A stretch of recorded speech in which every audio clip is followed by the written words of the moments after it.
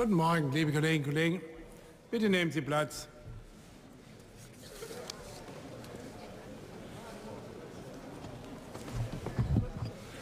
Die Sitzung ist eröffnet. Wir müssen heute als erstes ein Mitglied des Stiftungsrats der Deutschen Härtefallstiftung wählen.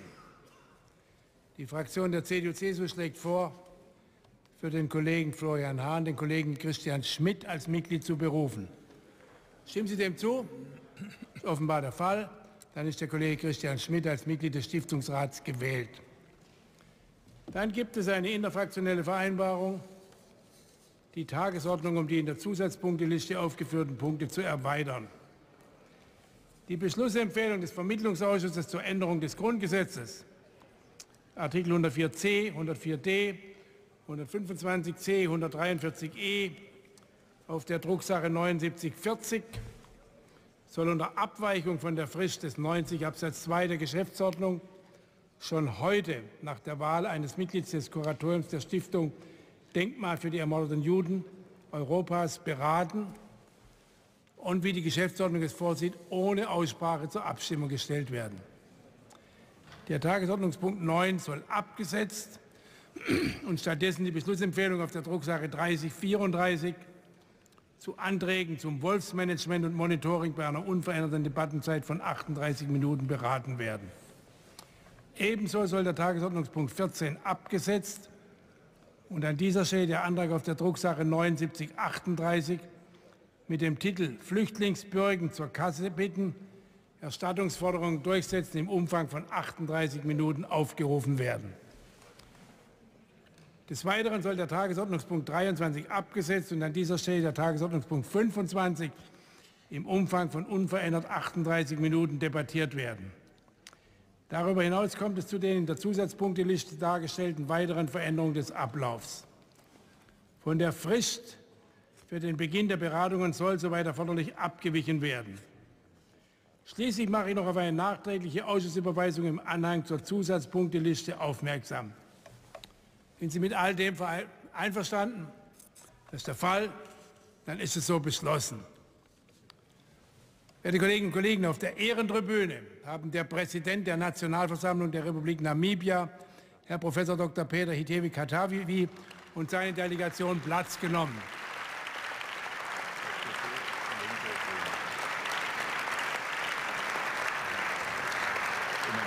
Im Namen aller Kolleginnen und Kollegen des Deutschen Bundestags begrüße ich Sie auch hier im Plenum des Deutschen Bundestags sehr herzlich.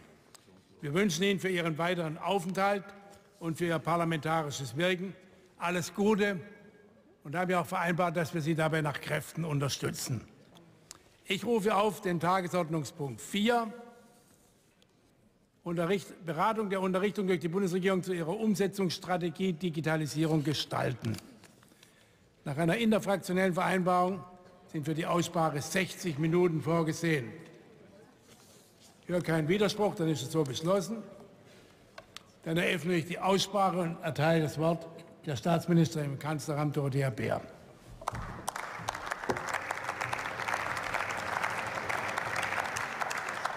Herr Präsident, liebe Kolleginnen und Kollegen, meine sehr geehrten Damen und Herren! Von Thomas Edison ist der Satz überliefert, der Wert einer Idee liegt in ihrer Umsetzung. Und das gilt selbstverständlich auch für die Ideen, die wir als Bundesregierung im Rahmen Digitalisierung gestalten und vor allem auch Digitalisierung treiben wollen. Deswegen haben wir erstmals eine Umsetzungsstrategie vorgelegt im Vergleich zur digitalen Agenda in der letzten Periode, die definieren soll, was wir wollen, aber vor allem auch, wie wir es umsetzen wollen weil wir festgestellt haben, dass darin der ganz besondere Wert liegt, dass wir konkrete Schritte haben. Wir haben nachprüfbare Schritte zu allen einzelnen Handlungsfeldern. Ähm, die Umsetzungsstrategie gibt es einmal ausgedruckt ähm, auf Papier, ganz analog und einmal gibt es es auf digital made in.de, Herr Kollege, weil wir eben unsere Digitalisierung gestalten, sowohl als auch und nicht entweder oder. Ja, und wir wollen es niederschwellig für diejenigen machen, die sich nicht für über 1000 Euro ein iPad leisten können. Unser Ziel ist ganz klar, wir wollen jede Bürgerin und jeden Bürger in die Lage versetzen, den digitalen Wandel selbstbestimmt mitgestalten zu können und vor allem verantwortungsvoll mit den Risiken umzugehen. Und dafür braucht es zuallererst digitale Bildung, auch und gerade in unseren Schulen. Der Weg für den Digitalpakt Schule ist nun geebnet. Das war überfällig und ich gebe zu, dass es zeitweise auch eine sehr unschöne Diskussion war. Wir können auch nicht damit zufrieden sein, sondern wir müssen uns schon ein bisschen davon lösen, zu meinen, dass wir innerhalb der Bundesländer untereinander in einem Wettbewerb stehen, miteinander konkurrieren.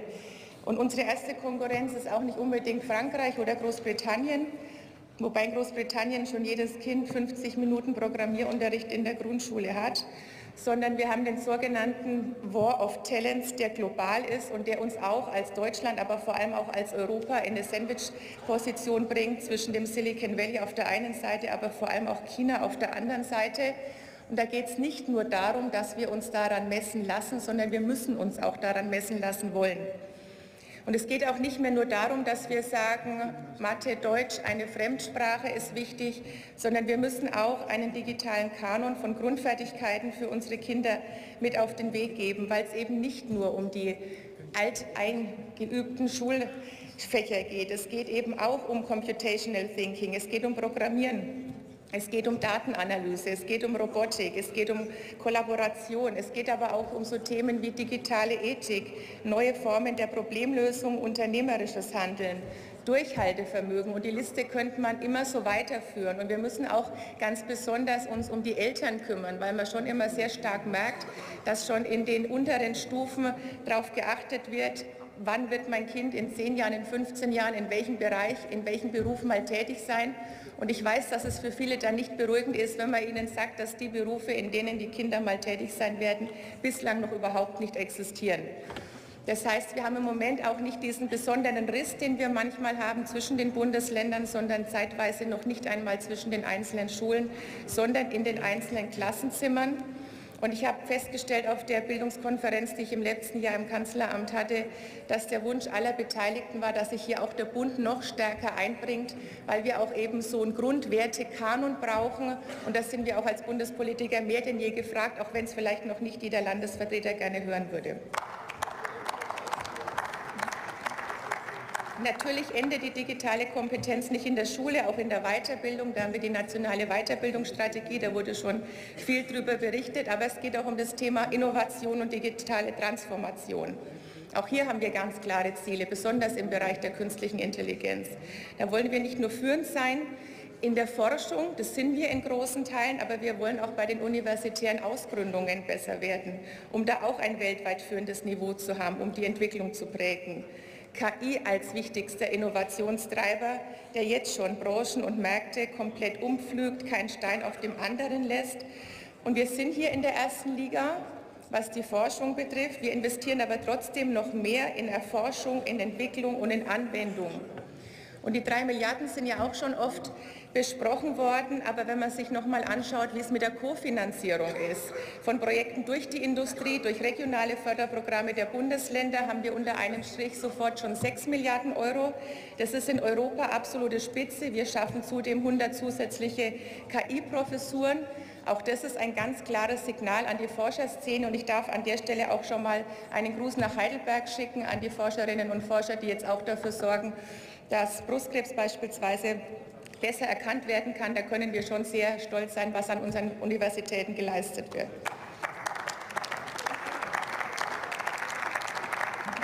Aber Digitalisierung ist nicht nur Technik, ist auch kein Selbstzweck, sondern für uns steht jede Bürgerin und jeder Bürger im Mittelpunkt. Wir wollen eine Lebenserleichterung dadurch schaffen. Wir wollen eine Gesellschaft im digitalen Wandel. Und ich bin ganz fest davon überzeugt, dass wir für unsere Werte, deswegen ja auch als Deutschland eine Datenethikkommission, mittel- und langfristig auch global die Gewinner sein werden. Und auch wenn wir vielleicht in unserer Kultur nicht in Jahrhunderten denken, in der tatsächlichen Umsetzung, wie das andere Nationen machen, müssen wir uns vielleicht auch ein bisschen davon lösen, nur in reinen Geschäftsjahren zu denken und auch darüber hinausgehen. Zum Thema digitaler Staat ähm, hoffe ich, haben wir bald mal noch eine Extra-Debatte. Da komme ich jetzt leider nicht mehr dazu, aber abschließend würde ich vielleicht gerne noch auch auf neben der Technik, neben der Ethik und den Werten darauf hinweisen, dass abgewandelt von der berühmten Rede von Roman Herzog auch ganz dringend ein digitaler Ruck durch Deutschland gehen muss, dass wir auch mal neue Wege gehen müssen, neu denken, Gewohntes hinterfragen müssen und vielleicht ist es schon bei den kommenden Haushaltsberatungen der Fall, wenn wir auch mal schauen, ob wir auch mehr in Investitionen ausgeben, weniger in konsumtive Ausgaben.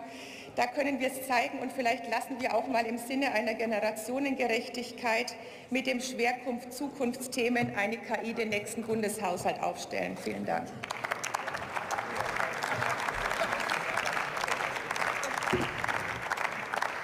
Jetzt erteile ich das Wort der Kollegin Johanna Kotar, AfD.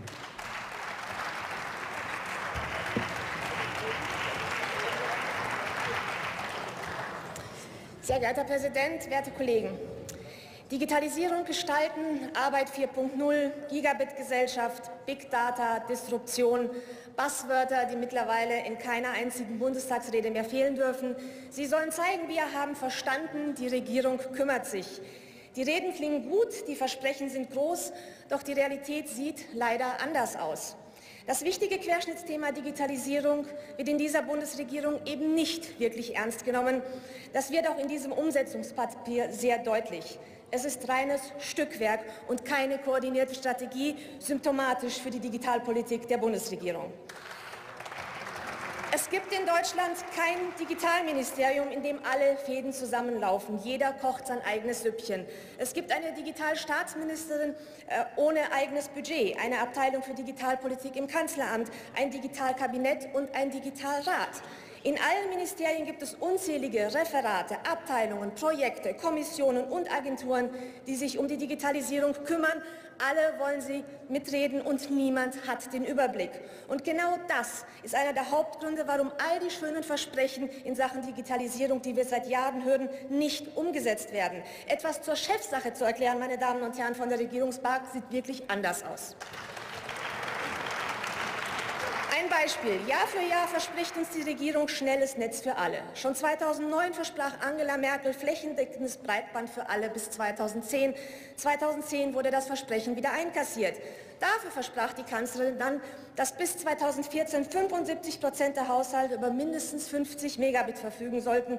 Bald gab sie auch zu, auch das wird nichts. Dann ein neues Versprechen. Spätestens 2025 werde Deutschland mit Gigabit-Netzen die beste Infrastruktur der Welt haben.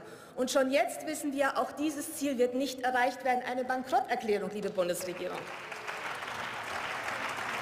Bei Internetgeschwindigkeiten liegt Deutschland im internationalen Vergleich auf Platz 25 hinter Ländern wie Rumänien oder Lettland. Beim Mobilfunk sieht es nicht viel besser aus. Das weiß jeder Bürger, der verzweifelt versucht, bei Bahnfahrten längere Telefonate zu führen. Eines der wichtigsten Themen der heutigen Zeit, Cybersecurity. Ohne Sicherheit ist diese schöne neue Welt nichts wert. Auch die Regierung möchte die Cybersicherheit stärken und gründet dafür mal wieder eine Agentur. Wir haben ja davon so wenig. Gleichzeitig möchte die Regierung aber nur ihr bekannte Sicherheitslücken in IT-Produkten nicht schließen, sondern nutzen, wohl wissend, was, solche, was für Schäden solche Exploits anrichten können. Und Backdoors in Soft und Hardware werden auch nicht abgelehnt. Die Überwachung muss schließlich umfassend sein. Mit Verlaub, so steigern Sie die Sicherheit nicht. So fahren Sie auch das Thema Cybersecurity an die Wand, meine Damen und Herren. Und wenn ich dann lese, dass man sich in dem Papier auch über das Internet auslässt und die Medienkompetenz der Menschen stärken will, dann schlage ich vor, dass wir hier gleich im Bundestag und auch auf EU-Ebene beginnen. Wer allen Ernstes die Freiheit des Internets mit der Einführung von Uploadfiltern zerstören möchte, wer Zensur im großen Stil einführen möchte, weil er nicht verstanden hat, dass Algorithmen völlig ungeeignet sind, um Urheberrechtsverletzungen zu erklären, der sollte bei digitalen Themen schlicht den Mund halten, liebe Kollegen von der Union und der SPD. Im Koalitionsvertrag haben Sie Uploadfilter als unverhältnismäßig abgelehnt, nur um dann auf EU-Ebene umzufallen und genau diese Filter zu beschließen. Eine Petition von mit fast fünf Millionen Unterschriften interessiert Sie nicht. Beschwerdemails von jungen Menschen werden ignoriert. Ja, mehr noch. Sie werden von Ihnen wahlweise als Bots oder als Mob beschimpft. Schämen Sie sich, meine Damen und Herren. Schämen Sie sich in Grund und Boden. Ihr, Koalitionspapier ist das, Ihr Koalitionsvertrag ist das Papier nicht wert, auf dem er steht. Und das ist mit dieser visionslosen Umsetzungsstrategie für die Digitalisierung leider nicht anders. Viele Worte, verstreute Einzelmaßnahmen, wenig dahinter. So bringen Sie Deutschland nicht nach vorne. Und das Nachsehen hat wieder einmal der Bürger.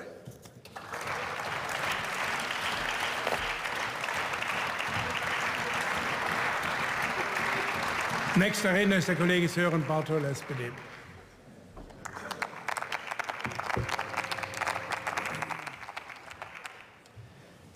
Sehr geehrter Herr Präsident, liebe Kolleginnen und Kollegen, meine Damen und Herren auf den Besuchertribünen vom Fernsehen. Deutschland gilt ja in vielen Fragen als fortschrittlich. Unsere sozialen Sicherungssysteme, die duale Ausbildung, Handwerk, Maschinenbau und unsere Universitäten. Für das Thema Digitalisierung gilt das nicht. In den meisten digitalen Rankings befindet sich Deutschland im Mittelfeld, in manchen taucht es gar nicht auf. Kurzum, es besteht Nachholbedarf. Deutschland kann, will und muss digitaler werden. Die gute Nachricht, wir sind dabei. In ihrer Umsetzungsstrategie Digitalisierung gestalten hat die Bundesregierung konkret auf fünf Handlungsfeldern zusammengefasst, was jetzt und in den nächsten Jahren passieren muss. Nur so können wir als Gesellschaft unsere Lebensqualität weiter steigern, unser wirtschaftliches und ökologisches Potenzial entfalten und den sozialen Zusammenhalt bewahren. Dafür brauchen wir eine kluge Bildungs- und Industriepolitik und eine intelligente Steuergesetzgebung. Nach der gestrigen Einigung im Vermittlungsausschuss steht mit den 5 Milliarden Euro starken Digitalpakt beispielsweise das nötige Geld für den Bildungsbereich jetzt endlich bereit. Unsere Schulen können es brauchen.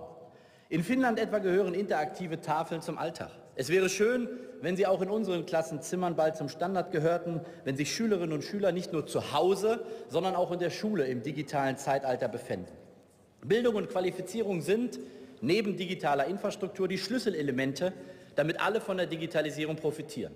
Folgerichtig stehen sie im Zentrum der Arbeitsmarktpolitik unseres Bundesarbeitsmarktministers. Qualifizierungsoffensive und nationale Weiterbildungsstrategie stellen sicher, dass sich nicht nur Berufe, sondern auch die Menschen verändern und weiterentwickeln können.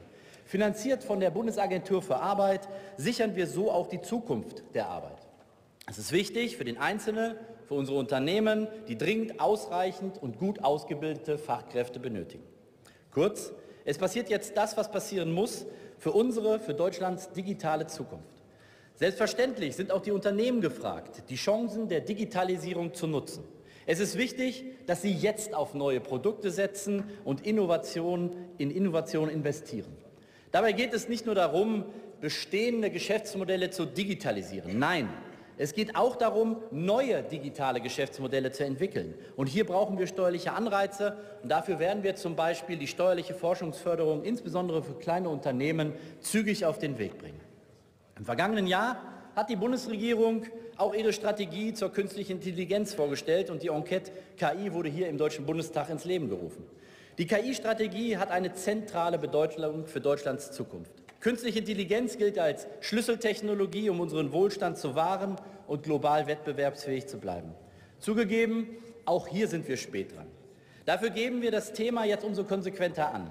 An der Seite Frankreichs haben wir hier die Chancen, uns gut aufzustellen. Dafür werden wir unsere Expertise und Infrastruktur ausbauen und für mehr qualifizierte Arbeitskräfte im Bereich KI sorgen. Mit den in der KI-Strategie vorgesehenen zwölf KI-Zentren, den 100 zusätzlichen Professuren und einem deutsch-französischen KI-Cluster tun wir genau das.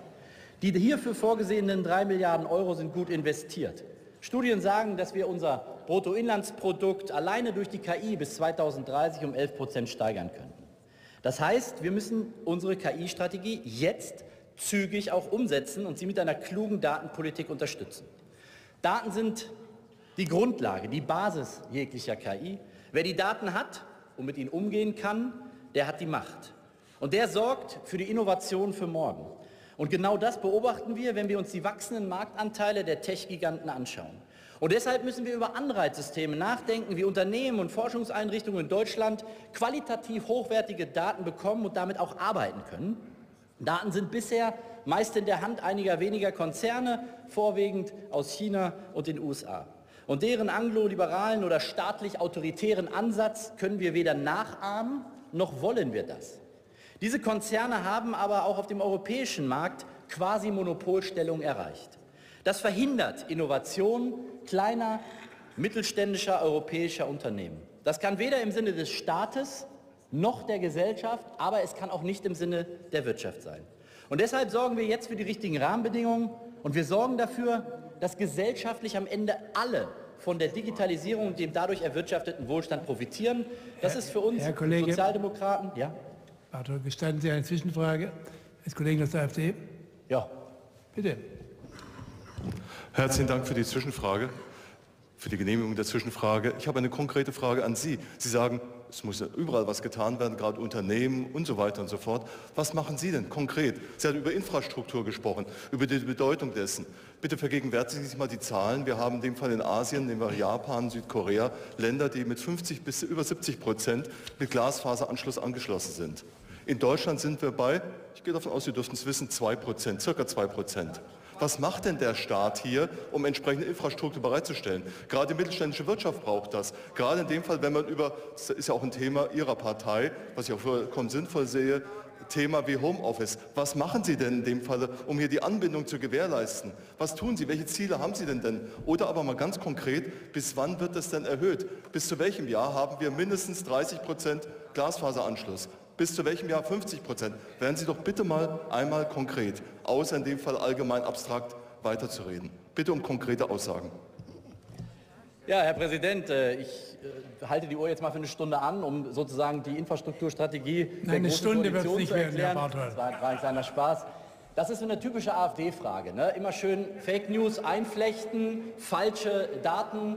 Ganz ehrlich, Sie müssen sozusagen einfach mal das zur Kenntnis nehmen, was wir machen. Wir haben nicht ein Breitbandförderprogramm, sondern wir sind jetzt in, wieder in einer Runde. Wir haben eine ganz klare Glasfaserstrategie. Wir kommen da auch voran. Und natürlich, Sie haben ja, ich habe das ja selber auch gesagt, wir müssen im Infrastrukturbereich auch besser werden. Und was auch wichtig ist, dass wir gerade, wenn wir über solche Themen wie 5G und auch andere Themen reden, dass wir uns nicht nur auf urbane Zentren konzentrieren, dass wir natürlich auch die Fläche in diesem Land mit anschließen. Aber genau das tut die Bundesregierung, genau das tut die Koalition in ihren Diskussionen, in den Fachausschüssen. Wir haben eine Digitalstrategie, das ist übrigens auch nicht die erste, sondern wir haben auch davor schon eine Strategie gehabt. Wir folgen und machen Punkt für Punkt, schließen wir die Dinge ab und ganz ehrlich, natürlich kommen wir auch voran.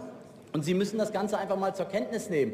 Natürlich schließen wir immer mehr Menschen mit schnellem Internet an. Das können Sie ja nicht wirklich bestreiten. Und natürlich werden wir am Ende in Deutschland ein flächendeckendes, gut funktionierendes 5G-Netz haben. Und wir stellen jetzt gerade die Weichen, um das auch zu erreichen. Und das, was Sie tun, ist den Standort schlecht zu reden, ohne eigene Antworten zu präsentieren. Ich habe gerade jedenfalls von meiner Vorrednerin dazu wirklich gar nichts gehört. Gar nichts. Genau. Ja, das war's, weil er hat mich eigentlich am Ende auch schon erwischt. Ja, vielen Dank äh, nochmal für die Frage, dann konnte ich das nochmal ausführen und äh, geben Sie doch vielleicht bei Ihrem nächsten Redner, bei den nächsten Rednerinnen auch mal konkrete Antworten. Wir sind gespannt auf Ihre Ideen zur Zukunft Deutschlands. Dankeschön.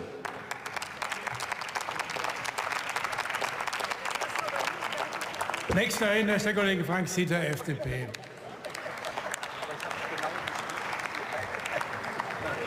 Sehr geehrter Herr Präsident, liebe Kolleginnen und Kollegen!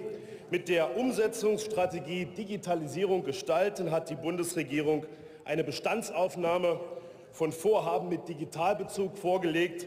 Das ist soweit ganz schön, da wir die solche Übersicht hatten wir bisher noch nicht. Vielen Dank erstmal dafür.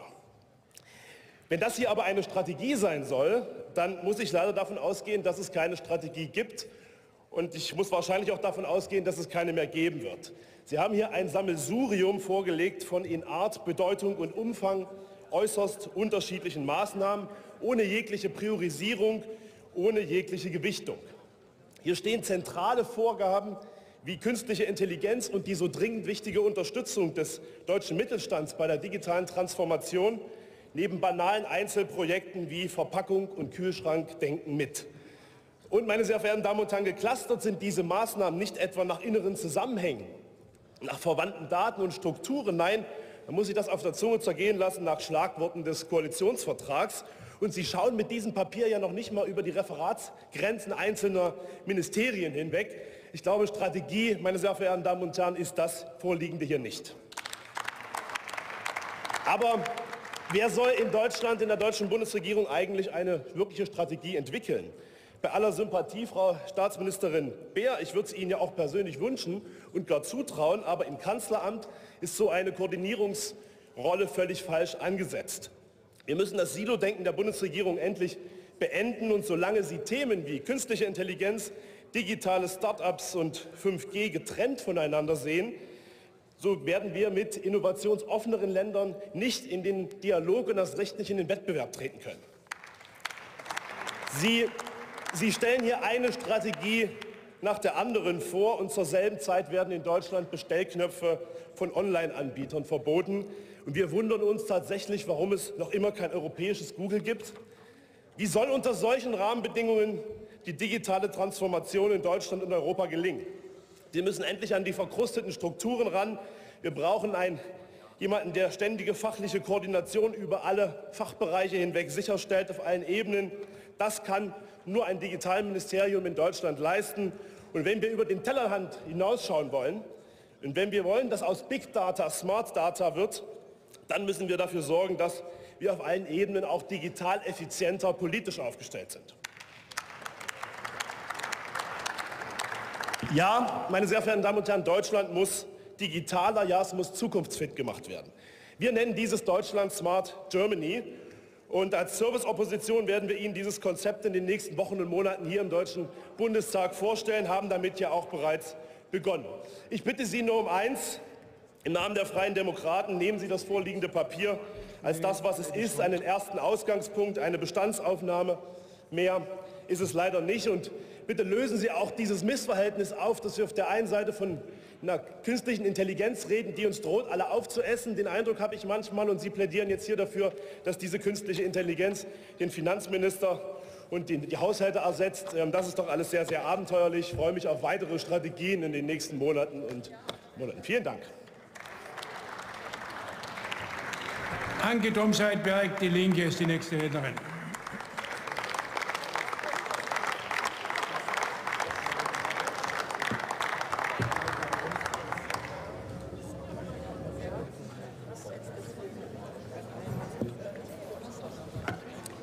Sehr geehrter Herr Präsident, liebe Kolleginnen und Kollegen!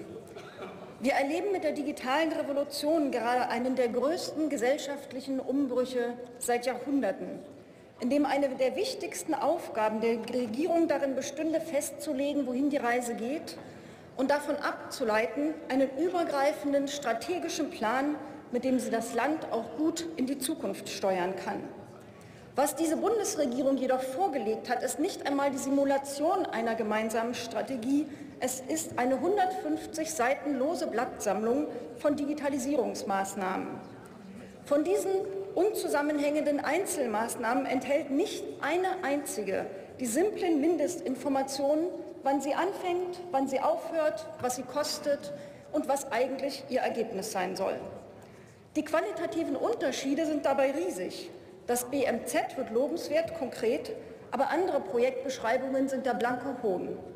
So nennt Gesundheitsminister Spahn für die Maßnahme digitale Kompetenz in Heilberufen Zwei praktisch inhaltfreie Umsetzungsschritte, nämlich erstens Priorisierung möglicher Maßnahmen, zweitens Umsetzung von Maßnahmen. Ja, was denn eigentlich? Minister Spahn scheint nur auf Fakten Wert zu legen, wenn er Frauen bevormunden kann. Bei seiner sinnlosen Studie zu seelischen Folgen von Abtreibung weiß er nämlich ganz genau, wie viel Geld in welcher Zeit er ausgeben will. Übrigens 5 Millionen in drei Jahren. Offensichtlich hat aber niemand die vielen Maßnahmen koordiniert. Sonst hätten die beiden Bundesministerien, die jeweils ein Projekt zur Förderung der Digitalkompetenz älterer Menschen im ländlichen Raum beschreiben, sicher gemeinsame Sache gemacht. Dann hätten alle Ministerien und nicht nur das Umweltministerium digitale Beteiligungsmöglichkeiten für Bürgerinnen geplant und alle, nicht nur das Bildungsministerium, würden anstreben, ihre Arbeitsplätze attraktiver zu machen für Menschen, die nicht aus der Kreidezeit kommen. Dann stünde der Begriff Open Source auch nicht nur als einleitende Floskel im Kapitel Moderner Staat, ohne einen einzigen Umsetzungsschritt danach. Nur bei einer einzigen Maßnahme geht es überhaupt um die Förderung von Open Source, nämlich in Afrika. Warum nur in Afrika? Warum nicht auch bei uns? Wie wenig die Bundesregierung weiß, was sie tut, merkt man, wenn man sich im Detail anschaut, wie sie ihre großspurigen Ziele umsetzen will. Bis 2025, so steht es da, soll in ganz Deutschland ein gigabitfähiges Netz vorhanden sein, auch im dünn besiedelten ländlichen Raum. Dafür will man Anreize für Glasfaserinvestitionen schaffen. Aber gleichzeitig will die Bundesnetzagentur der Telekom erlauben, in der Hausverkabelung die Datenübertragung aus Glasfasernetzen ihrer Konkurrenz bis zur Hälfte zu drosseln, damit ihr eigenes kupferbasiertes Netz schneller wird. Von diesem sogenannten Vectoring sagt uns der EU-Rechnungshof, dass es den Ausbau von Glasfaser in Deutschland aktiv behindert hat, gefördert mit Steuergeld. Das ist exakt das Gegenteil von einem Anreiz für Glasfaserinvestitionen und so irre, dass man es überhaupt niemandem mehr beschreiben kann. Die Förderung kommunaler Glasfasernetze, ein bewährtes Erfolgsrezept aus Schweden, kommt dagegen gar nicht vor. Man glaubt ja weiterhin, dass der Markt auch die digitale Daseinsvorsorge hinkriegt. Die Konsequenz 80.000 Euro verlangt die Deutsche Telekom für 200 Meter Glasfaserverlegung einer Schule im bayerischen Wiesentau. Für die Bundesregierung ist das natürlich kein Problem, denn wenn die Telekom Kasse macht, freut sich der Finanzminister. Der ist nämlich immer noch größter Einzelaktionär. Nur Gigabit-Netze bis 2025 kriegen wir so garantiert nicht. Große Töne auch beim Mobilfunk. Deutschland soll 5G-Leitmarkt werden, die Funklöcher sollen endlich verschwinden. Ja, wie denn? Da steht, wir treffen mit Mobilfunkbetreibern klare Absprachen über bessere 4G-Flächenabdeckung und setzen Akzente für den Ausbau der 5G-Technologie. Als Mitglied im Beirat der Bundesnetzagentur weiß ich, was das heißt. 1000 Basisstationen für 5G sollen Anbieter aufbauen, ein Dreißigstel der bisherigen Netze. Das ist in der Tat erstmal nur ein Akzent. Funklöcher verschwinden offenbar, weil sie bald akzentfreie Versorgung heißen. Die Ausrichtung der Digitalisierung auf das Gemeinwohl fehlt weitgehend in der Umsetzungsstrategie, egal ob bei Glasfaser, Mobilfunk oder der Förderung von Start-ups.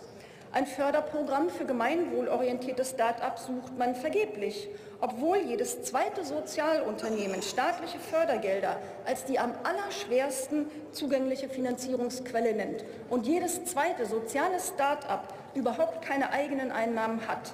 Wenn die Digitalisierung aber, wie das behauptet wird, für alle Menschen dienen soll, müssen gerade soziale Innovationen, zum Beispiel für Bildung oder Umwelt, eine Chance bekommen, da sie gesellschaftlichen Nutzen stiften, für Risikokapitalgeber aber völlig uninteressant sind, weil ihr Zweck ja gerade nicht in der Profitmaximierung liegt. Kurz gesagt, das Papier bleibt im unzusammenhängenden Klein-Klein und es adressiert keine der wirklich großen Fragen dieser gewaltigen Transformation. So fehlte auch der Mut, sich der Frage zu stellen, wie wir denn unser Sozialsystem umgestalten wollen, können und müssen, damit es auch morgen noch funktioniert, wenn wir unsere Arbeitsplätze mit Robotern teilen. Diese Strategie ist leider eine Verschwendung kostbarer Zeit, die wir so dringend brauchen, um weitsichtige und kluge Politik für die Zukunft unseres Landes zu machen. Im Übrigen finde ich, dass Informationen zu Schwangerschaftsabbrüchen absolut nichts im Strafrecht verloren haben. Paragraph 219a muss weg. Heute haben wir die Gelegenheit dazu. Dieses Haus kann namentlich darüber abstimmen. Ich gucke vor allem in die Richtung der SPD. Fragen Sie Ihr Gewissen. Stimmen Sie der Abschaffung von 219a zu. Vielen Dank.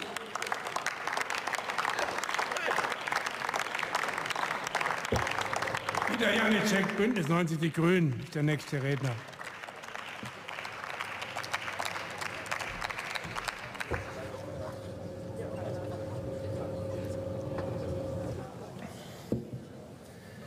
Sehr geehrter Herr Präsident, lieber Sören Barthol, die Rede zur künstlichen Intelligenz, die hätte letzte Woche ganz gut gepasst. Und liebe Doro Bär, ich hätte heute gerne was gehört zum Thema, das heißt nämlich Umsetzungsstrategie für die Digitalisierung in Deutschland. Also das wäre auch mal ganz gut, wenn wir zur Sache reden, wenn wir über Digitalisierung reden und nicht nur das allgemeine Band aufmachen. Aber vielleicht mal einen Satz zum Zustand heute. Nach den Entscheidungen zu Uploadfilter, Leistungsschutzrecht rufen deutsche Start-ups zum Protest gegen diese Bundesregierung auf. Das ist der Zustand der Digitalisierung in Deutschland 2019. Jetzt schauen wir uns mal den Koalitionsvertrag an und gehen auf diese Umsetzungsstrategie ein. Sie haben ja ein neues Papier vorgelegt, ich glaube 111 Seiten mit einer ganzen Reihe von Vorschlägen. Sie haben aber auch einen Koalitionsvertrag, Sie haben eine Strategie künstliche Intelligenz. Normalerweise, wenn man etwas voranbringen will, da gebe ich dem Kollegen von der FDP recht, dann versucht man es zu priorisieren, Budgets zu unterlegen, Ziele aufzuschreiben und zu sagen, gestern war ich dort und morgen bin ich da. Jetzt schauen wir in den Koalitionsvertrag rein. Sie hatten das Prinzip Digital First für die digitale Verwaltung vereinbart. Jetzt wäre es ja mal schön zu hören, welche Leistungen werden denn 2019-20 Services für die Bürger und Unternehmen angepasst. Wir hatten das Thema zur Endeverschlüsselung im Koalitionsvertrag. Deutschland soll Verschlüsselungsland Nummer eins werden. Das kenne ich ja von der CSU. Champions League die ganze Zeit. Und wenn man die ganze Zeit in die Champions League will, dann muss man auch mal so spielen und liefern auf dem Platz. Security by Design sollte gesetzlich verankert werden. Flächendeckender Glasfaserausbau bis 2025. Gut, 2025, da ist diese Legislatur schon rum. Was passiert denn in dieser Legislatur? Was passiert denn jetzt? Wie kommt der ländliche Raum ans Netz? WLAN an allen öffentlichen Einrichtungen des Bundes. Und viele von uns fahren ja auch mal mit dem Zug. Das wäre ja ganz schön, das auch in den Zügen zu haben, damit man dort arbeiten kann. Das wäre doch mal was. Wann kommt das? Wo ist die Strategie? Bundeseinheitliches E-Ticket für den ÖPNV. Wir Grüne sagen, wir brauchen einen Mobilpass. Wir wollen das bundesweit, dass man eine Leistung überall abrufen kann und durchkommt durchs Land. Wo ist da Ihre Initiative? Wann geht das endlich voran? Sie haben geschrieben, auch das unterstützen wir. Wir wollen den E-Sport vollständig als eigene Sportart mit Vereins- und Verbandrecht anerkennen. Wo ist da die Initiative? Wann kommt das? Wann ist das durch? Also, Ihr Strategiepapier, ich habe es übrigens falsch gesagt, ist nicht 111 Seiten lang, sondern nur 156 Seiten lang, 111 Einzelmaßnahmen, aber Sie leisten einfach keine Priorisierung. Keiner weiß im Jahre 2019, wo Sie 2020 oder 2021 stehen. Und Beispiel Datenökonomie, da haben Sie 56 Wörter in Ihrem Strategiebereich aufgeschrieben und da steht dann so allgemein drin, wir wollen die Fragestellung analytisch, konzeptionell aufarbeiten, strategische Ziele definieren. Naja, das kann man für jedes Themenfeld der Bundesregierung so aufschreiben. Das ist aber keine Strategie. Also ich bitte Sie herzlich, kommen Sie endlich voran, liefern Sie. Wir wollen wenigstens mal Anschluss finden an die skandinavischen Staaten, an Österreich, an Estland. Wir wollen nicht weiter im unteren Feld der Bundesliga spielen, demnächst vielleicht in der zweiten Liga, wenn es so vorangeht. Dankeschön. Nadine Schön, CDU-CSU, die nächste Rednerin.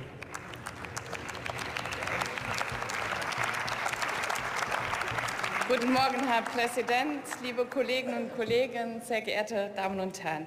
Wir haben heute erstmals die Gelegenheit, im Plenum über die Umsetzungsstrategie der Bundesregierung zu beraten, die ja im November vergangenen Jahres vorgelegt worden ist. Und äh, wenn die Zuschauer auf den Tribünen oder am Fernsehen sich jetzt fragen, worüber reden die, dann gibt es natürlich die Möglichkeit, das gedruckte Exemplar zu haben. Aber viel schöner ist eigentlich die Homepage www.digitalmadein.de. Da sieht man nämlich sehr transparent, transparent, was alles diese Umsetzungsstrategie beinhaltet. Und da will ich doch mal einige Sachen klarstellen und richtigstellen, die bei den Vorrednern wirklich auch falsch gesagt worden sind. Erst einmal finde ich bemerkenswert, Herr Sitter von der FDP, wenn die FDP grundsätzlich immer sagt, dass wir zu kurz denken und nicht ambitioniert genug sind, aber dann, wenn Frau Bär entweder von Flugtaxis redet oder davon, KI auch in der Bundesverwaltung einzusetzen, gleich kritisiert, das sei doch viel zu abgehoben und wie könne man denn schon so weit denken. Also da müssen Sie sich schon mal entscheiden, ob sie Zukunft wollen oder nicht. Was wirklich gut ist an der Strategie, zum ersten Mal werden alle Maßnahmen der Bundesregierung sehr transparent aufgearbeitet übersichtlich gegliedert, Ziele definiert, mit Zeitplan und mit Umsetzungsschritten. Das Ganze ist dynamisch und wird kontinuierlich weiterentwickelt. Und das ist eben nicht eine Summe von Einzelmaßnahmen, die völlig unkoordiniert nebeneinander steht. Es ist zum ersten Mal der Ansatz, das Ganze nach Handlungsfeldern zu sortieren. Es wird auch nicht das alte Ressortdenken aufgegriffen. Nein, es werden Handlungsfelder definiert und in diese Handlungsfelder fließen die Maßnahmen aller Ressorts ein. Das gab es noch nie, das ist neu, das macht die ganze Sache transparent und das führt zum ersten Mal dazu, dass wir Themen auch vernetzt denken, ressortübergreifend verdenken. Und das ist doch das, was die Digitalisierung von uns erfordert, dass wir nicht mehr in Silos denken, nicht mehr in Ressorts denken, sondern vernetzt denken, Projekte gemeinsam angehen, Sachen teilen und gemeinsam voranbringen. Und genau das macht diese Strategie. Und natürlich gibt es auch eine Priorisierung. Schauen Sie einmal in das Handlungsfeld digitale Bildung. Da finden Sie ganz oben als erstes Priorisierung das Thema Digitalpakt. Der Digitalpakt war die prioritäre Maßnahme dieser Bundesregierung. Es lag nicht an uns, dass es so lange gedauert hat, das durchzusetzen. Doch jetzt sind wir mit den Ländern endlich zu einem Ergebnis gekommen. Ähm, seit gestern steht fest, die Bundesgelder können fließen für die Länder. Haken dran, umgesetzt. Jetzt müssen die Länder nur etwas aus dem Geld machen. Was erwarten wir in den nächsten Wochen und Monaten? Zum einen muss die Strategie fortgeschrieben werden. Was umgesetzt wird, muss abgehakt werden, damit es auch für die, diejenigen von Ihnen, die sich die Strategie anschauen, auch sehen, wie die Weiterentwicklung ist. Die Strategie muss an einigen Punkten konkreter werden. Denn manchmal fehlten mir schon bei eigenen, einzelnen Maßnahmen die konkreten Umsetzungsschritte. Beispielsweise beim Thema Experimentierklauseln im Arbeitszeitgesetz zur Erprobung flexibler Arbeitszeitmodelle. Das ist ein ganz typisches Thema, wo wir kein Geld brauchen, wo wir aber mit Flexibilität und damit, dass wir mal alte Zöpfe abschneiden, wirklich Bewegung in unser Land bringen, wie wir Zukunft gestalten und unser Arbeitsmarkt mal so aufstellen und, und unsere Arbeitszeitgesetze, dass sie den modernen Anforderungen Genüge tun. Hier wünsche ich mir vom zuständigen Bundesminister Heil, dass er auch konkrete Umsetzungsschritte Schritte in die Strategie einfügt und diese auch schnellstmöglich umsetzt. Nur dann kann die Strategie auch mit Leben gefüllt werden. Die Strategie muss weiterentwickelt werden, was den zeitlichen Horizont angeht. Wir können nicht beim Jahr 2021 stehen bleiben. Die Frage ist doch, wie wollen wir in 10 Jahren leben, in 15 Jahren leben, wie wollen wir in 20 Jahren leben? Und da stellt man sehr schnell fest, dass vieles, was wir heute getrennt denken, zukünftig zusammengedacht werden muss. Sei es die Energiewende, die Änderungen bei der Mobilität, das Thema vernetztes Wohnen zu Hause, die Anforderungen einer sich altern, einer alternden, immobiler werdenden Gesellschaft, das alles muss zusammengedacht werden. Und deshalb ist es wichtig, dass wir hier auch mal die langen Linien ziehen, dass wir schauen, wie wollen wir in 10, in 15, in 20 Jahren leben, damit wir diese Vernetzung und, und äh, besser gestalten können und schon heute ähm, die Weichen stellen können, damit wir diese Ziele erreichen. Die Digitalisierungsstrategie muss Teil der klimapolitischen Strategie werden, der geopolitischen Strategie, auch der industriepolitischen Strategie. Und sie muss mindestens in den europäischen Kontext gestellt werden.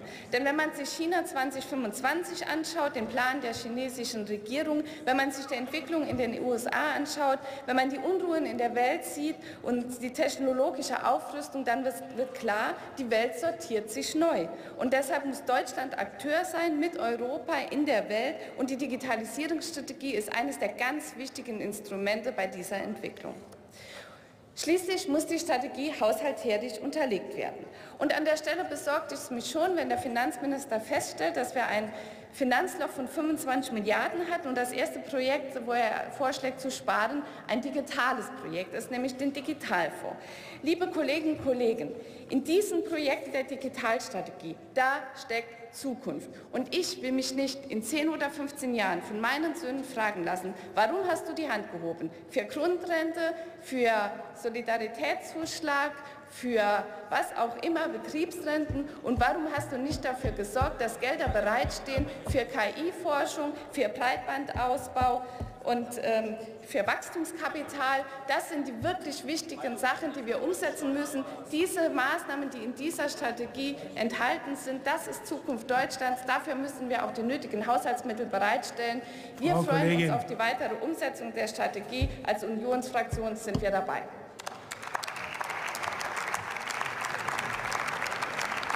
Nächster Redner ist der Kollege Uwe Schulz, AfD.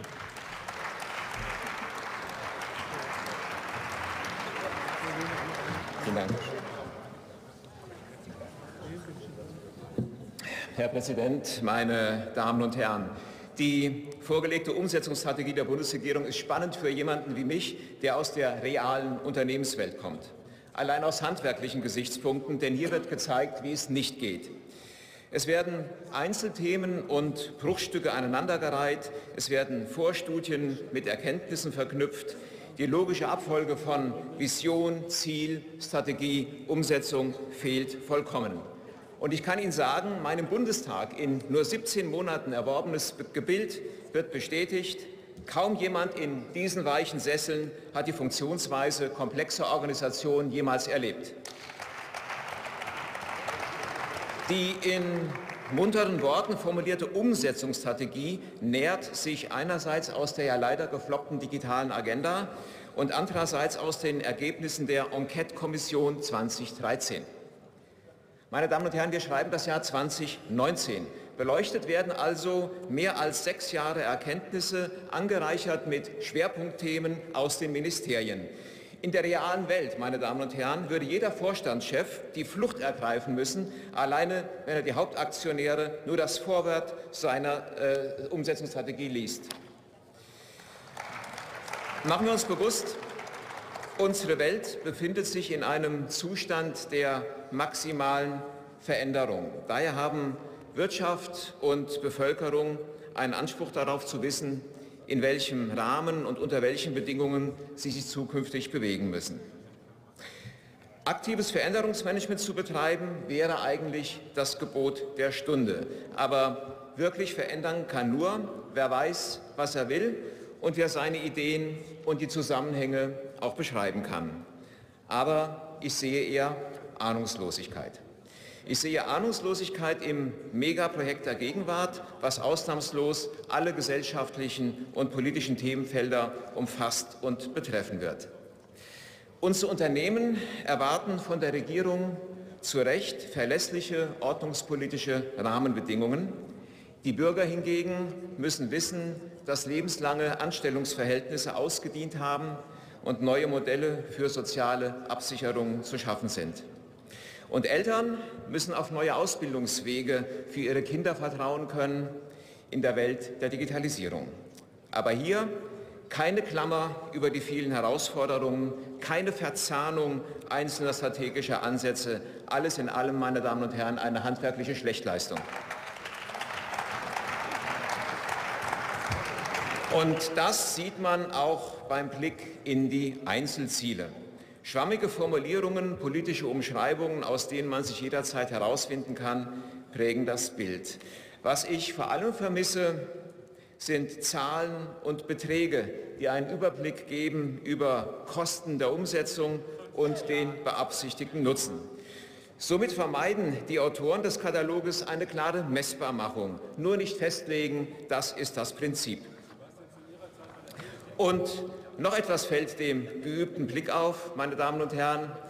Der Umsetzungskatalog ist in Beraterdeutsch verfasst. Aufmachung und Aussagen entsprechen dem Werkzeugkoffer von McKinsey, Roland Berger und Co.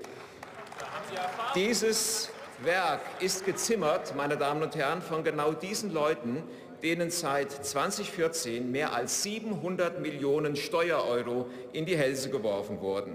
Nun aber läuft uns die Zeit davon und solides Vorgehen ist gefragt. Und mir jedenfalls würde ein ehrliches, ein nüchternes Amtsdeutsch in einem solchen Dokument lieber sein als diese inhaltslose Marketingsprache.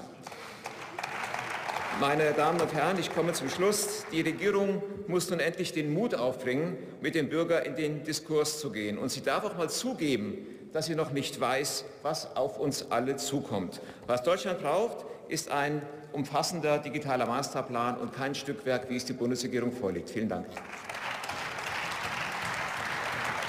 Dr. Jens Zimmermann, SPD, ist der nächste Redner.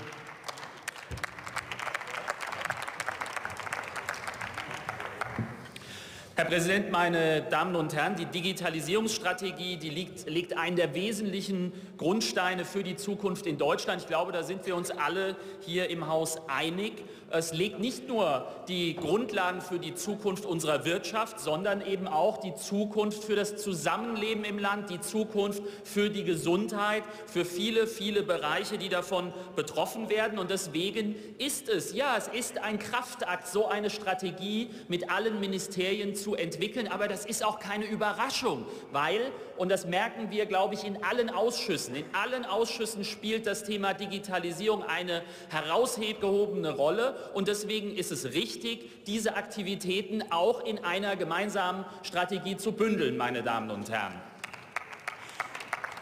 Ganz klar, für uns als Sozialdemokratinnen und Sozialdemokraten ist da ein Bereich, der sticht sofort ins Auge, das ist die Zukunft der Arbeit. Denn wir alle wissen, in den nächsten fünf bis zehn Jahren wird sich auf den Arbeitsmärkten in den Betrieben einiges ändern. Und für uns ist klar, Digitalisierung in den Betrieben, die ist nur gemeinsam mit den Beschäftigten, mit den Betriebsräten und mit den Gewerkschaften zu gestalten. Und deswegen kann ich sagen, für das Arbeitsministerium und für Hubertus Heil und sein Team sind wir da auf einem guten Weg. Ich nehme mal ein Beispiel raus. Wenn es um diese Plattformökonomie geht. Und wir nehmen mal das Beispiel der Lieferdienste. Viele hier im Raum haben mit Sicherheit zu später Stunde in Berlin diese Dienstleistungen schon in Anspruch genommen.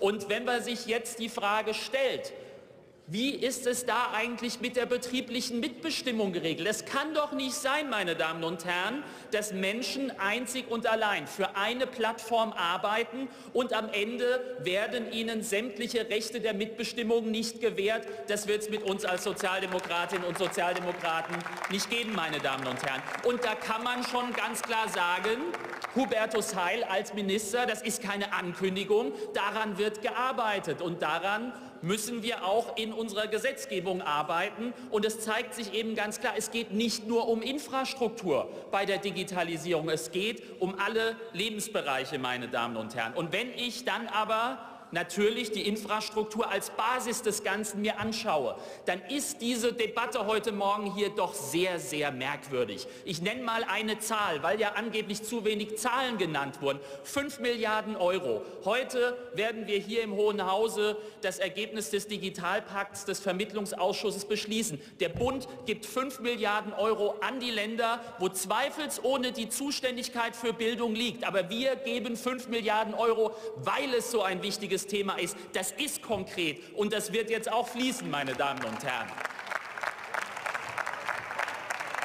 Und wenn ich den geschätzten Kollegen Janicek dann höre, ja, aber wer war denn derjenige, der bei diesem Thema blockiert hat? Das war doch bis zum Schluss Herr Kretschmann aus Baden-Württemberg. Also nicht hier die Krokodilstränen an dieser Stelle äh, vergießen. Und ich sage noch mal ein anderes konkretes Thema. Schauen wir doch auf das Thema 5G. Schauen wir doch auf das Thema 5G, wo ganz konkret jetzt die Versteigerung angeht, wo wir uns viele Kolleginnen und Kollegen im Beirat der Bundesnetzagentur dafür einsetzen, dass in der Fläche die weißen Flecken geschlossen werden. Aber woher kommt denn jetzt schon wieder der Protest wegen der Handystrahlung? Da würde ich mir auch von euch mal eine ganz klare Aussage wünschen, liebe Kolleginnen und Kollegen. Bei den Grünen. Und auch an der Stelle, auch an der Stelle diskutieren wir doch momentan genau den entscheidenden Punkt. Was machen wir mit den weißen Flecken, wo es am Ende kein Mobilfunkempfang gibt? Da müssen wir auch darüber reden, am Ende öffentliches Geld in die Hand zu nehmen, um die letzten weißen Flecken, und hier sind ganz viele Kolleginnen und Kollegen aus dem ländlichen Raum, die müssen geschlossen werden. Und am Ende muss auch Geld aus dem Digitalfonds dafür bereitgestellt werden. Sehr richtig. Wenn ich mir also anschaue, was in dieser Digitalisierungsstrategie ganz konkret, was man in vier Minuten herausarbeiten kann, alles drin ist, dann haben wir damit eine gute Basis für die digitale Zukunft in Deutschland gelegt. Das heißt nicht, dass wir die Hände in den Schoß legen. Das heißt nicht, dass wir ganz oben schon in der Tabelle sind. Aber es ist auch bei weitem nicht so, wie hier von Teilen der Opposition dargestellt wurde. Herzlichen Dank, meine Damen und Herren.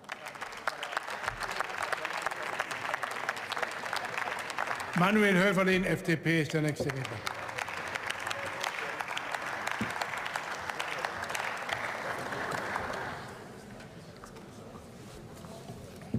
Sehr geehrter Herr Präsident, liebe Kolleginnen und Kollegen! Wir wollen die Digitalisierung treiben, sagt die Staatsministerin vorhin.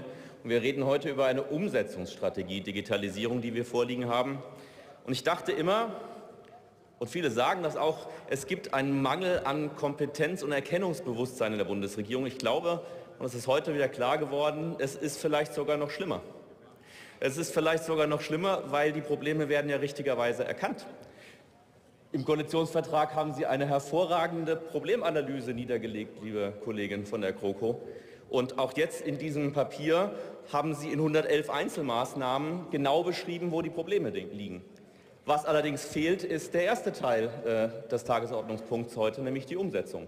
Und das ist das Tragische an dieser Situation, dass Sie die Probleme erkennen, dass Sie wissen, was gemacht werden müsste, aber stattdessen eben nicht wie Frau Beers gerade sagte, ein digitaler Ruck durch Deutschland geht und sie ihn antreiben, sondern stattdessen ein Papier schreiben und keine Folgen daraus äh, erschließen können. Das ist tragisch. Es ist im Kern ein Man müsste mal Papier. Und das wird dem Thema wirklich nicht gerecht. Wir haben auf 111 Seiten Dinge beschrieben, die die Mammutaufgabe derzeit in Deutschland, in Europa, in der Welt beschreiben, nämlich die digitale Transformation. Die digitale Transformation von Wirtschaft, von Gesellschaft und auch von Politik. Und gerade in der Politik findet sie bei Ihnen überhaupt nicht statt. Nein, Sie sagen ja, jeder ist jetzt Digitalminister. Wir haben 14 Ressortchefs, einen Kanzleramtschef, eine Staatsministerin, 16 an der Zahl. Wenn Sie noch mehr wollen, können Sie dazu nehmen.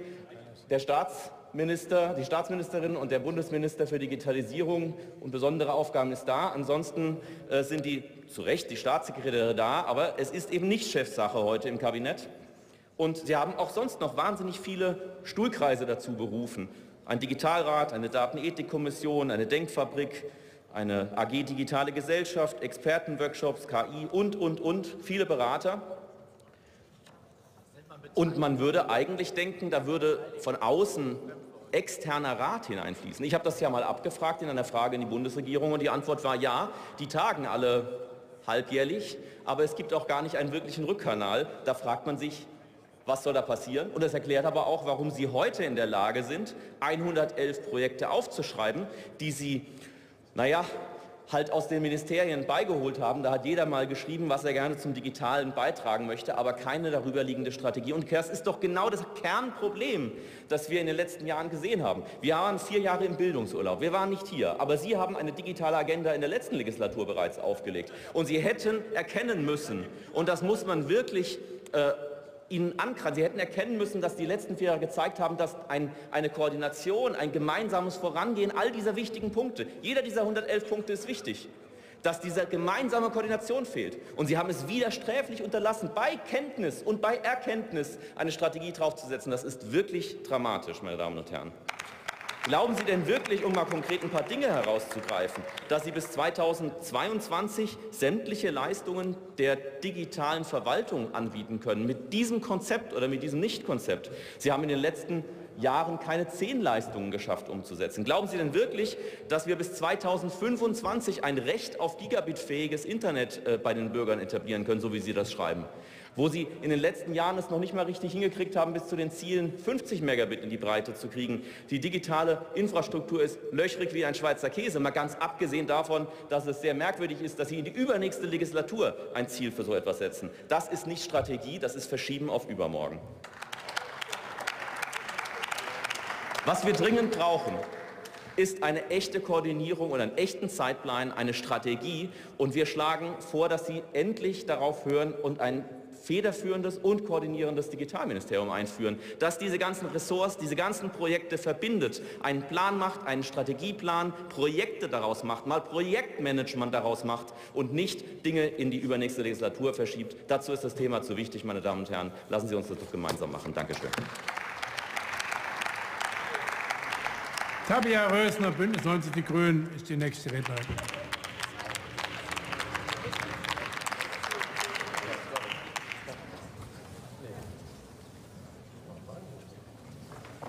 Herr Präsident, meine Damen und Herren! Was wir uns hier stolz präsentieren, ist ein mit heißer Nadel genähter Flickenteppich. Es fehlen die wirklich innovativen und begeisternden Ideen, die den Menschen auch Lust auf Digitalisierung machen und die einen Weg in die Zukunft weisen. Und es fehlt der Blick fürs Ganze. Und Liebe Nadine Schön, Ihre Rede kam mir so bekannt vor. Ich glaube, die haben Sie ähnlich schon mal so gehalten äh, zur digitalen Agenda aus der letzten Wahlperiode. Aber auch damit sind Sie ja schon kläglich gescheitert. Und nehmen wir den Glasfaserausbau, lieber Sören Barthol. Wenn Sie nicht jahrelang erstmal in die komplett falsche Richtung mit dem Vektoring gewandert wären, dann wären wir beim Glasfaserausbau auch schon wirklich weiter. Und darum geht es jetzt. Wir müssen die digitale Infrastruktur wirklich schnell voranbringen. Und da braucht man auch wirklich Geld, das man in die Hand nehmen muss. Ähm, als Netz- und Verbraucherpolitikerin schmerzt mich aber eines ganz besonders. Das ist, dass das Justiz- und Verbraucherministerium bei der Benennung konkreter Vorhaben im Vergleich zu allen anderen Ressorts das Schlusslicht bildet.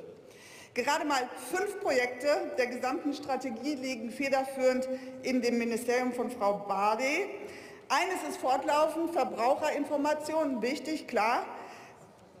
Zwei davon sind äh, geteilte Federführung und die zwei letzten sind Prüfvorhaben. Ja, ist Ihnen da wirklich nicht mehr eingefallen? Ich weiß, Frau Barley ist ja auf dem Absprung nach Europa und Digitalisierung ist auch nicht so ihre Leidenschaft. Aber ich muss Sie da warnen, gerade die wichtigen digitalen Themen werden eben in Brüssel entschieden. Und da muss sie sich doch noch mal anders aufstellen. Eine Lehrstelle, die mich die mich aus ihrer Umsetzungsstrategie buchstäblich anschreit, ist der gesamte Bereich Open Data, Open Government und offene Standards. Im Koalitionsvertrag hatten Sie ja noch ein paar gute Ideen. Da haben Sie zum Beispiel die Einführung äh, regionaler Open Government Labore für mehr Bürgerbeteiligung und die Einführung eines zweiten Open Data Gesetzes versprochen. Davon findet sich aber wirklich gar nichts mehr in der Umsetzungsstrategie wieder. Dieses Loch im Flickenteppich zeigt den Bürgerinnen und Bürgern, dass ihnen nichts egaler sein könnte. Was für ein Armutszeugnis. Wo es aber hingehen muss, haben wir in unserem gerade frisch eingebrachten Antrag zu offenen Standards aufgezeigt. Obwohl offene Standards in vielen Lebensbereichen unendliche Möglichkeiten eröffnen, vernachlässigt die Bundesregierung genau dieses Thema sträflich und sie lassen so wichtige Chancen der Digitalisierung ungenutzt. In unserem Antrag führen wir konkrete Beispiele auf, wie eine echte, am Gemeinwohl orientierte Digitalstrategie aussehen sollte, damit auch alle Bürgerinnen und Bürger an der Digitalisierung teilhaben können. Und zum Schluss will ich noch einen ganz besonderen Punkt eingehen, nämlich wer diesen Flickenteppich eigentlich verbockt hat. Meine schriftliche Frage hat ans Licht gebracht, dass bei der Erstellung der Umsetzungsstrategie maßgeblich die Unternehmensberatung Capgemini beteiligt war. Also die Beraterseuche, die sich bereits durch die Ministerien, durch das Verteidigungsministerium, das BAMF und die KI-Strategie zieht, hat also auch die Umsetzungsstrategie ergriffen. Auf die Bundesregierung wirft das jedenfalls kein gutes Licht. Es fehlt im Kabinett ganz offenbar an eigener Expertise. Diese muss aber dringend aufgebaut werden. Sonst sind wir auf absehbare Zeit dazu verdammt, für teuer Geld mit zusammengeschusterten und ambitionslosen Digitalisierungsplänen abgespeist zu werden. Und im Übrigen gehört die Zuständigkeit für Computerspiele nicht ins Verkehrsministerium. Vielen Dank. Tankred Schipanski, CDU-CSU, der nächste Redner.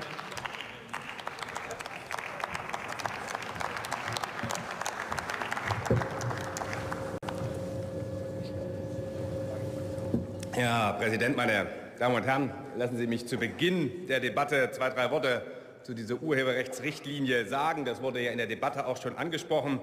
Sie wissen, das Ziel dieser Urheberrechtsrichtlinie es war, das Urheberrecht an die heutige technische Entwicklung anzupassen und dieses Ziel wurde aus digitalpolitischer Sicht nicht genügend äh, erreicht. Das haben die Digitalpolitiker aller Fraktionen umfangreich deutlich gemacht in den sozialen Netzwerken auf verschiedenen Podien.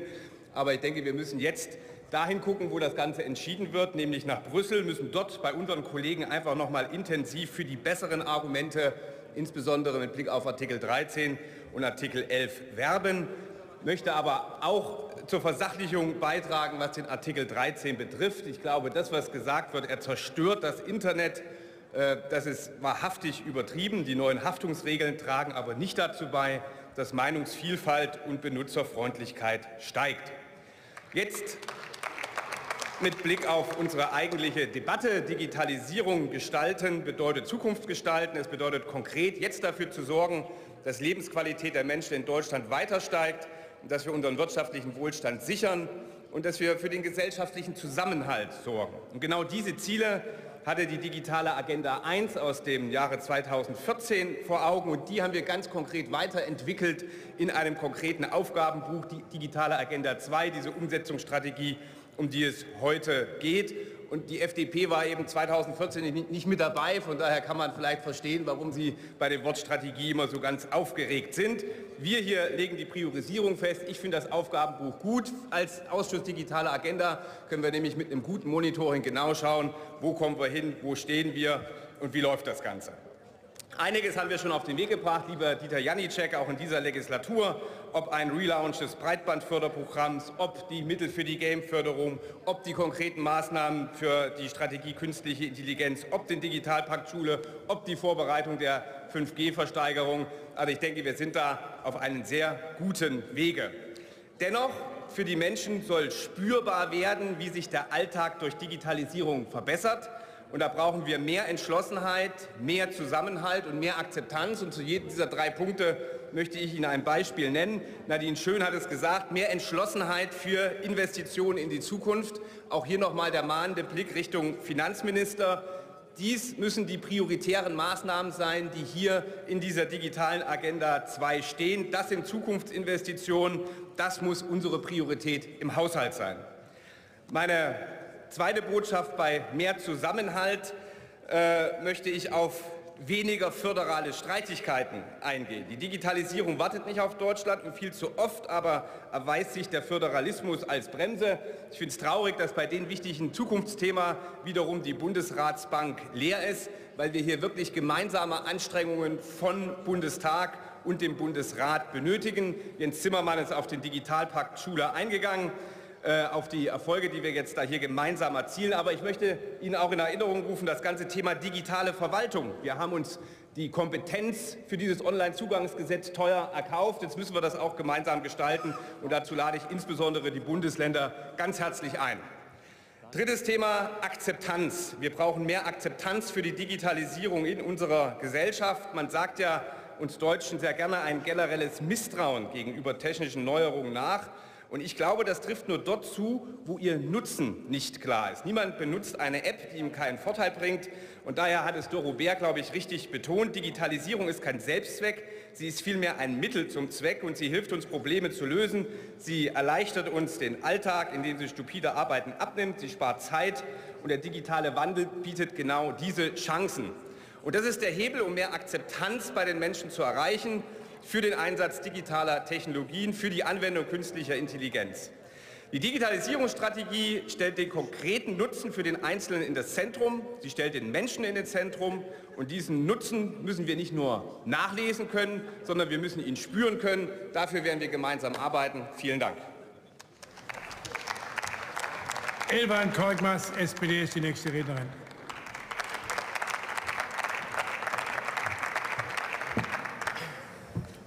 Herr Präsident, meine Damen und Herren! Hier sind 154 Seiten Umsetzungsstrategie der Bundesregierung. Das ist ein deutliches Zeichen, dass wir nicht reden, sondern handeln. Unser Bekenntnis ist klar, ich zitiere, Leistungsfähige Infrastrukturen sind Lebensadern unserer Gesellschaft. Dazu zählen in Zukunft besonders die digitalen Netze. Und ich bin überzeugt, Digitalisierung gelingt dann und nur dann, wenn sie bei jedem in unserem Land ankommt.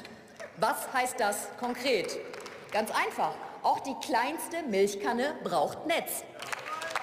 Die Mähdrescher Stadt Hasewinkel liegt in meinem Heimatkreis und deshalb weiß ich, dass die Zukunft der Landwirtschaft von einem guten Netz in der Fläche abhängt. Stichwort autonom fahrende Mähdrescher, oder die Übertragung von Echtzeitdaten vom Acker direkt ins Büro. Und ich lade die Bildungs- und Forschungsministerin auch gerne mal zu einem Besuch zu uns ein. Als Sozialdemokratin setze ich mich schließlich für die Qualifizierung und Weiterbildung für jedermann ein. Und wie so oft und wie so oft, wenn man in Zukunft Dinge besser machen möchte, muss man, und das ist schon mal ein guter erster Schritt, aus Fehlern der Vergangenheit lernen. Und der Ansatz des privatwirtschaftlichen Netzausbaus ist weitestgehend gescheitert. Das müssen wir uns auch eingestehen. Wir haben dort Leitungen, wo es sich für Unternehmen lohnt und ansonsten einen Flickenteppich, der nur mühsam und mit viel Aufwand geknüpft werden kann. Wirtschaftlichkeit ist der falsche Maßstab, wenn es um Daseinsvorsorge geht. Und gerade in ländlichen Regionen habe ich Diskussionen um weiße oder graue Flecken satt. Ich kann Menschen in Hesselteich nicht mehr guten Gewissens erklären, warum sie nur eine unzureichende und in manchen Fällen sogar gar keine Internetversorgung haben. Heute ist die digitale Anbindung Grundversorgung. Sie ist Daseinsvorsorge wie Wasser, Strom oder Heizung. Und das Gleiche gilt auch für die Wirtschaft. Kein Unternehmen wird sich in Regionen ansiedeln, in denen es Strom und fließendes Wasser, aber kein Internet gibt. Und der ausschlaggebende Standortfaktor ist schon lange nicht mehr die nächste Autobahnauffahrt, sondern die Datenautobahn. Und so mancher hat es auch schon verstanden. Ich habe da auch ein schönes Beispiel, das mich persönlich sehr freut. Den einen oder anderen wird es nicht wundern. Es kommt natürlich aus, meiner, aus meinem Heimatkreis. Die Stadthalle hat sich auf den Weg gemacht und ist selbst aktiv geworden, wartet nicht auf Unternehmen, baut das Netz selbst flächendeckend aus, damit erst keine weißen Flecken entstehen. Und wir als Bund, das wünsche ich mir, sollten genau solche Beispiele auch aufgreifen, fördern, sichtbar machen und den Kommunenraum für Erfahrungsaustausch geben. Denn ich zitiere nochmal die Umsetzungsstrategie. Unser Ziel ist die Anbindung für alle, von überall und zu jeder Zeit. Aber so viele Worte zur Infrastruktur sollten auch reichen. Das ist schließlich Daseinsvorsorge. Das muss jetzt kommen. Und das hat hier hoffentlich der Letzte auch verstanden. Und die eigentliche Frage ist doch, was kommt jetzt? Wie schaffen wir es, dass alle gleichermaßen vom technischen Fortschritt profitieren und nicht abgehängt werden? Digitalisierung ist schließlich kein Selbstzweck. Sie muss das Leben der Bürgerinnen und Bürger vor Ort einfacher machen. Drei Schlaglichter aus der Umsetzungsstrategie. Digitale Behördengänge erleichtern den Alltag, intelligente Netze schaffen die Energiewende vor Ort, vernetzte Verkehrsträger lösen das Freiheitsversprechen für alle. Aber bei all den Chancen dürfen wir zwei Punkte nicht aus den Augen verlieren. Erstens, Digitalisierung muss alle Städte und Kommunen erreichen. Ich möchte keine hochtechnologisierten, smarten Städte und analoge gallische Dörfer. Und zweitens, ich möchte auch, dass das bei jedem Menschen ankommt. Ich möchte nicht auf der einen Seite die Smarties und auf der anderen die Abgehängten haben.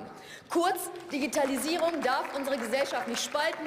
Die Umsetzungsstrategie der Bundesregierung ist da eine solide Grundlage. Vielen Dank.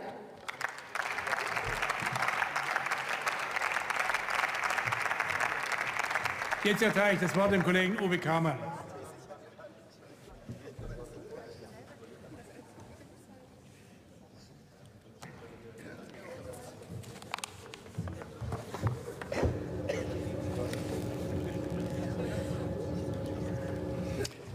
Herr Präsident, liebe Kolleginnen und Kollegen, liebe Bürger! Die fehlende Digitalisierungsstrategie ist in der Vergangenheit heftig kritisiert worden. Das Thema hatte nicht den notwendigen Stellenwert und es gab und es gibt immer noch eine Vielzahl von Gremien, die vor sich hinwerkeln, ohne ganzheitliche Verantwortung. Was wirklich fehlt, ist ein Digitalministerium. Die Ministerin haben wir ja schon mal. Was die Bundesregierung mit ihrer Umsetzungsstrategie jetzt vorgelegt hat, zeigt den Wunsch nach einem echten Aufbruch, und das ist lobenswert.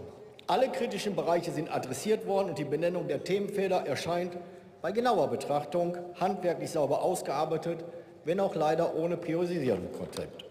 Was aber leider erkennbar fehlt, sind wichtige Kontrollmechanismen.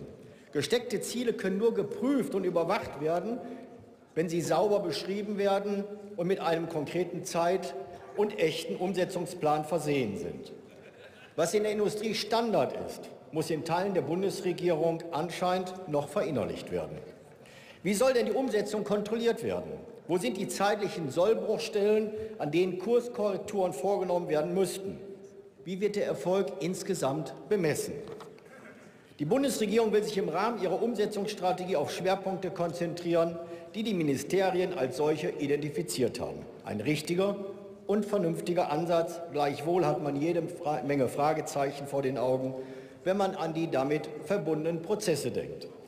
Jedes Ministerium sollte digitalpolitische Maßnahmen umsetzen und es sollen Synergieeffekte zwischen den Ministerien auch in Kooperation mit Wirtschaft und Wissenschaft greifen.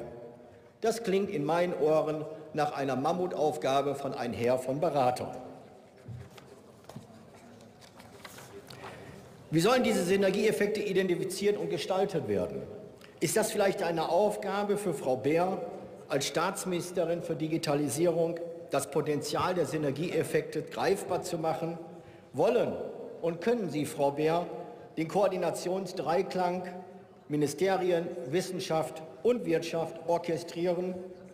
Notwendig ist der angekündigte Umsetzungsplan für die angesprochenen Lösungsmaßnahmen. Wann wollen Sie den vorlegen?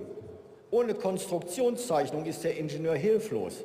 Das gilt auch für die Konstruktion einer Digitalisierungsstrategie. Die Bundesregierung hat bislang beim Thema Digitalisierung häufig nicht den besten Eindruck vermittelt, was man unter anderem daran erkennt, dass von dem flächendeckenden Ausbau schneller Gigabit-Netzen weiter geträumt werden darf. Wer unbekanntes Terrain wie 5G besetzt, positiv besetzen will und erobern möchte, muss neue Wege gehen, muss querdenken, muss Verantwortung in kompetente Hände legen. Mein Fazit bis heute, ein erster wichtiger und richtiger Schritt ist getan. Endlich liegt ein Lastenheft vor. Jetzt heißt es schnellstmöglich, die Umsetzungsschritte detailliert darzustellen und zügig umzusetzen. Sonst steht diese Bundesregierung am Ende der Legislatur mit leeren Händen da. Vielen Dank. Voraussichtlich letzter Redner in dieser Debatte ist der Kollege Stefan Sauer, CDU-CSU.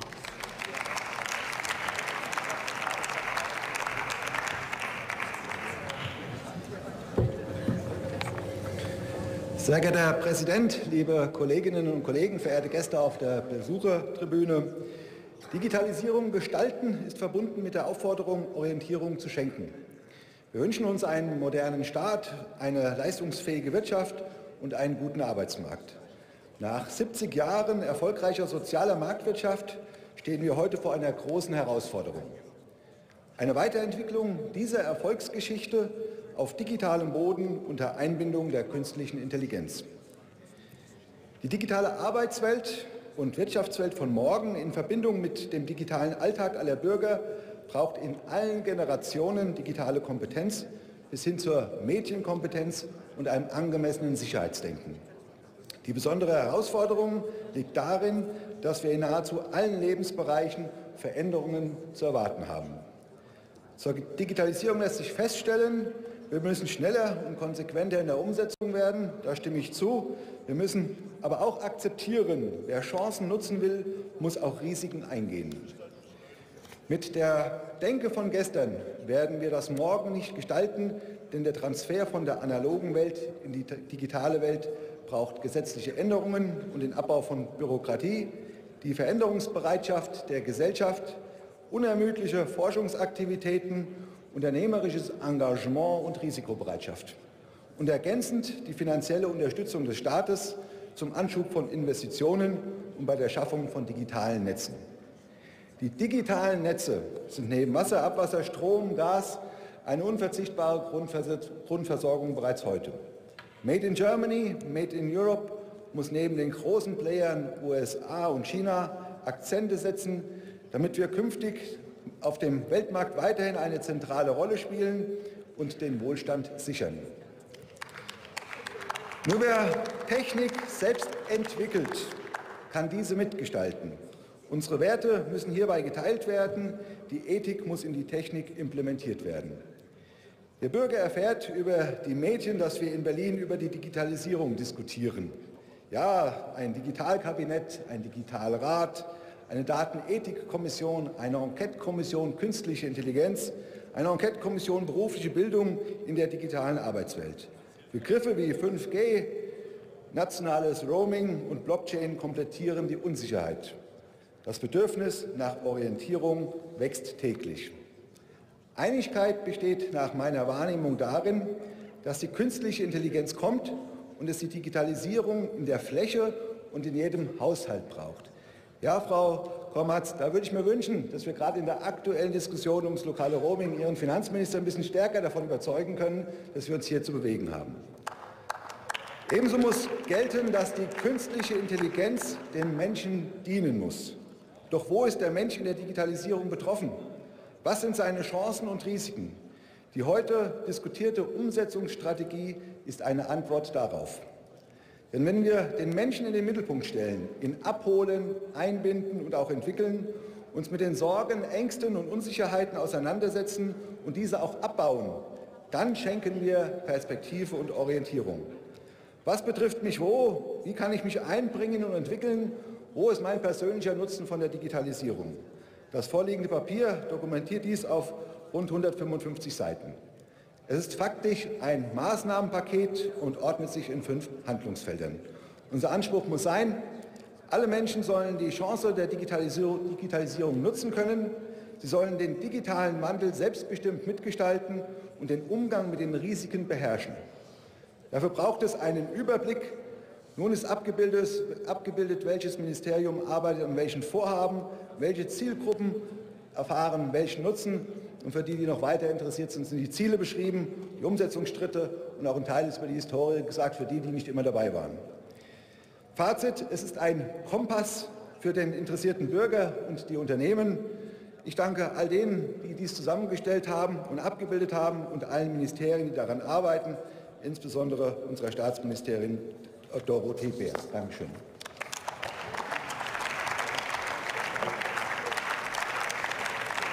Damit schließe ich die Aussprache. Interfraktionell wird die Überweisung der Vorlage auf der Drucksache 5810 an die in der Tagesordnung aufgeführten Ausschüsse vorgeschlagen. Ist Sie damit einverstanden? Das ist offenbar der Fall. Ist die Überweisung so beschlossen. Dann rufe ich auf den Tagesordnungspunkt 5, erste Beratung des von der Fraktion der AfD eingebrachten Gesetzentwurfs zur Wiederherstellung der Gleichberechtigung im Wahlrecht und in den politischen Parteien. Nach einer interfraktionellen Vereinbarung sind für die Aussprache 60 Minuten vorgesehen. Ich höre keinen Widerspruch, der ist so beschlossen.